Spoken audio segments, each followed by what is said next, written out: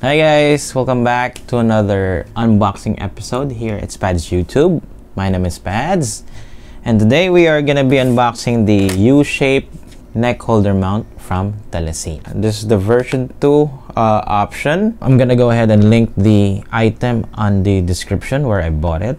Okay, so make sure that you check that out. And before we proceed with the unboxing, syempre, um, if you're new to the channel and you haven't yet subscribed, please subscribe and then follow my social media accounts and make sure that you hit that like button and share so that you can help me and my channel grow. So ayan, let's go ahead and unbox this thing. Oh, before I go ahead and box this, let me go ahead and give you a small background why I bought the neck mount. The first reason is that I'm going away from my chin mount on my helmet. Why I'm going away with that or why I'm choosing to not use the chin mount, it's because one is the weight that it puts on my helmet. Okay, I'm trying to, you know, uh, take off some weight in the helmet so that whenever I do moto vlogging, moto camping, or you know, uh, anything that involves on using my helmet and my GoPro, it won't give me a pain on my neck whenever I'm doing long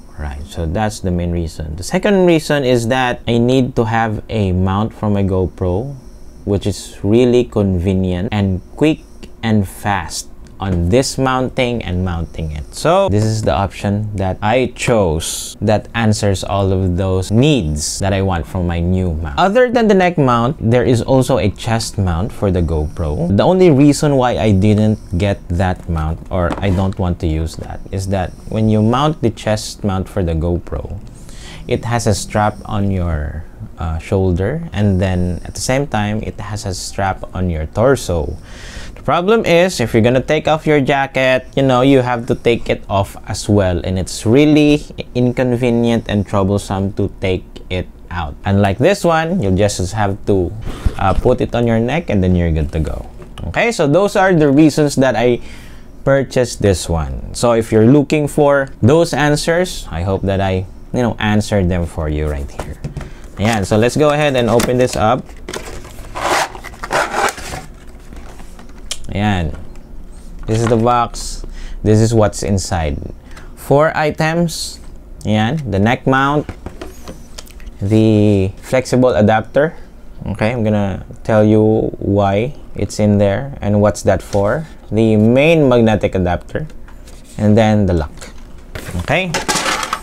So let's go ahead and check if there are other information on the box. Okay.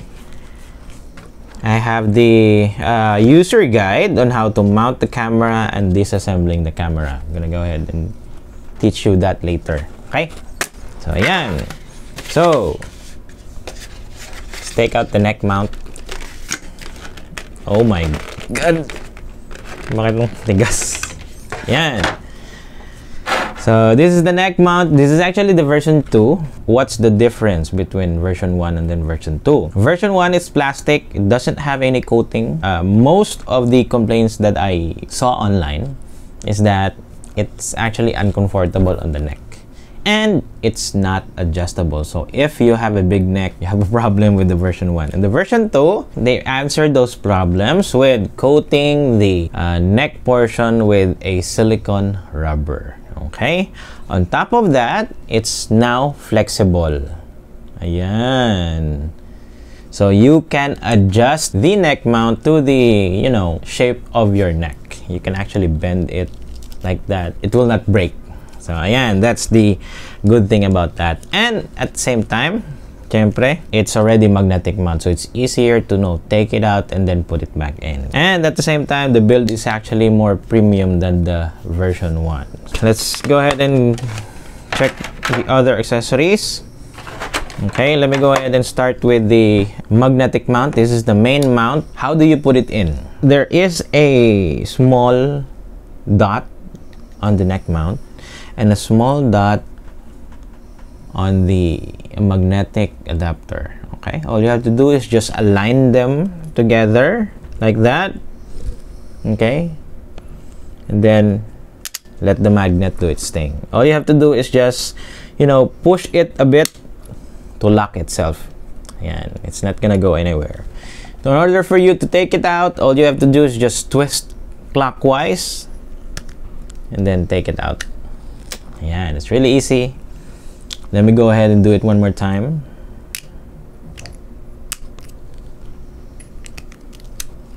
Ayan. Go ahead and just put it there. So, I won't have to explain what this is for. this is your lock for your GoPro. This one I have to explain on how to use this one. Uh, this is a flexible uh, adapter, okay? This will allow you to shoot in portrait mode or what we call vertical shooting or vertical position. Those footage are used for reels, uh, TikTok, and then Instagram Reels. So that's the only application I can think of. So this flexible adapter lets you shoot on that position. Let me go ahead and show you how to mount it vert uh, horizontally or the landscape mode. It's really easy. If you're ready, put on the magnet. All you have to do is just place it on the table. Mount the GoPro. Ayan. And then, lalak mo lang siya. Okay, then after that, syempre, just position it. And you're good to go. It's in landscape mode. The other thing that you can do with it as well is that you can actually position it to face down and then you have a top down camera or a top view camera. This is really useful if you're unboxing something if or if you're doing an instructional video and you need to take footage on your of your uh, hand you can use this.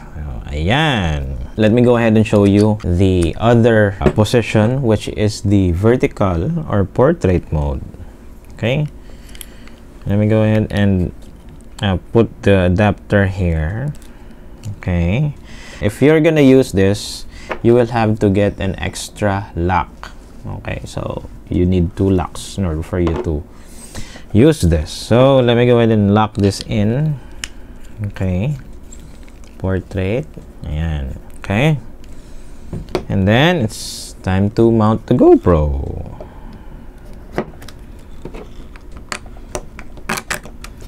Okay so it's facing on the side. All you have to do is just you know flip the GoPro.